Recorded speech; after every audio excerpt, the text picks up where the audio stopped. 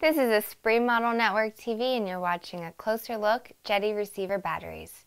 Today I'll explain the new transmitter batteries offered by Jeti USA. You can find these featured on both jetiusa.com and espritmodel.com.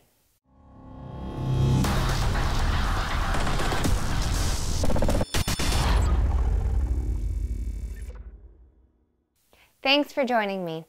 We've just gotten our hands on these new transmitter batteries from Jeti Model.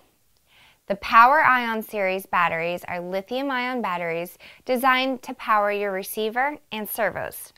They're available in four different milliamp per hour capacities.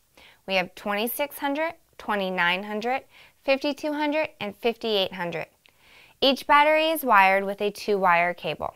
One wire contains a JR plug for charging, and the other is fitted with a multiplex connector for connection to your model. The internal metal case design of the Jeti Power Ion batteries offers a great advantage, high mechanical resistance. Other advantages include a long life cycle and various built-in protection features. For example, if the current is higher than 150 amps, the short circuit protection is activated. Overcharge protection is activated if the charging voltage is over 5 volts. When charging these batteries, you don't even need a balancer for operation. Another great advantage to the Jeti receiver batteries is their ability to work at very low or very high temperatures.